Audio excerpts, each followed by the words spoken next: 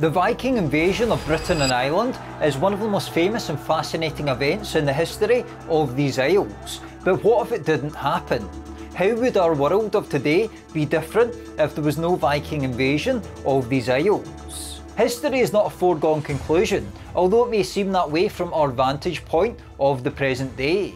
First up, and perhaps not what some of you would be expecting, is that the English language would be very different today if it wasn't for the Vikings. Numerous everyday words in the English language come from Old Norse from the Vikings, stemming from Viking raids and the period of the Danelaw, when Danes settled parts of modern day England in the 9th and 10th century.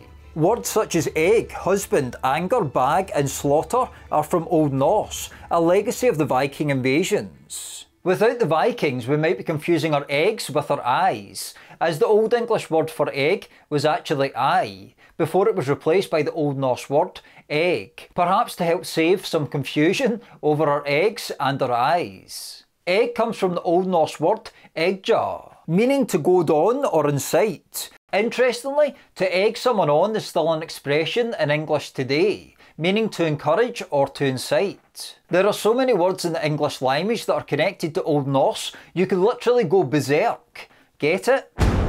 The Vikings also had a notable impact on many place names in these isles. Uh, for instance, towns or cities um, that end with by, by, such as Derby, um, is usually a signal of some sort of Viking influence. Um, as by, by, um, meant some sort of farmstead to the Vikings. Also, place names that end with Thorpe, um, such as Scunthorpe, um, are probably connected to the Vikings in some way. The Scottish town of Wick gets its name from the Old Norse Vik, meaning bay. We could literally be here all day with place names, but I think you get the point. Secondly, some people would have a different sense of their own identity if the Vikings didn't invade. History, after all, informs how we see ourselves today.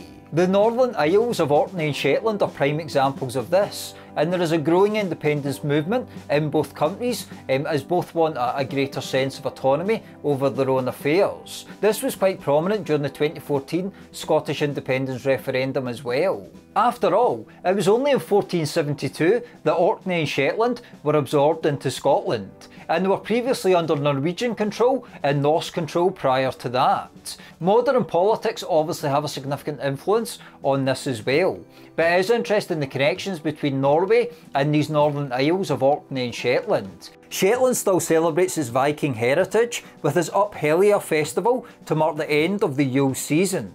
Earlier this year, Orkney's council voted 15 to 6 for a proposal which includes examining the archipelago's Nordic connections and looking into adopting models similar to crown dependencies such as Jersey.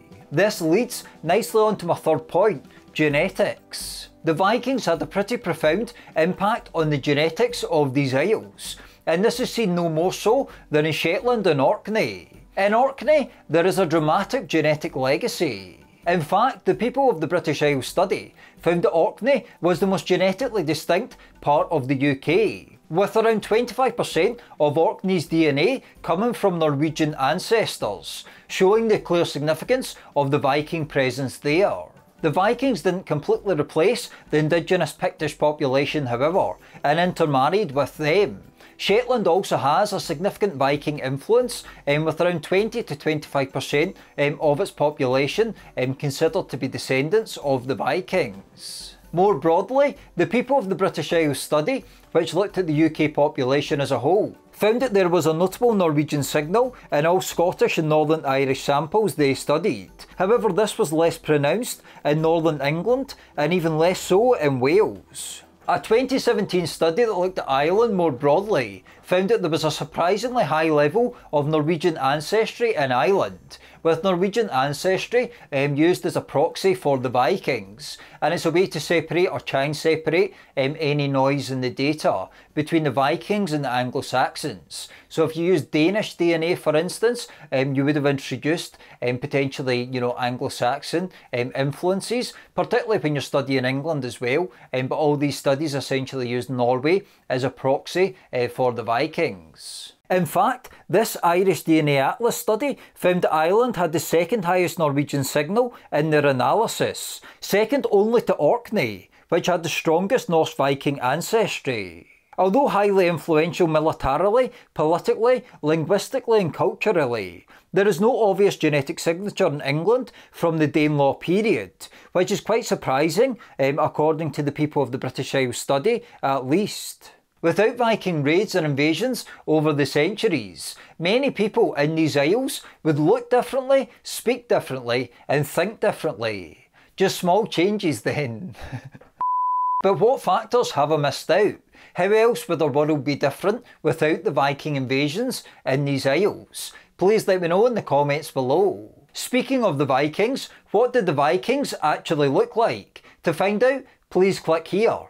Thanks for watching. For ways to support, all be in the description below. Thanks for everyone who does support this work, um, and thanks again for watching, and I'll see you next time.